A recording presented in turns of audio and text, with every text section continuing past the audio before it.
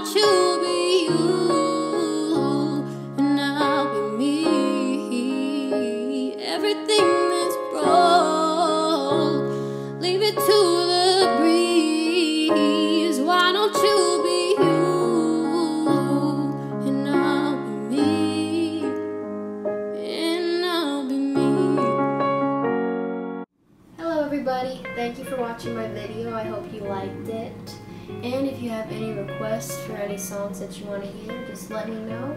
And I'll see you soon.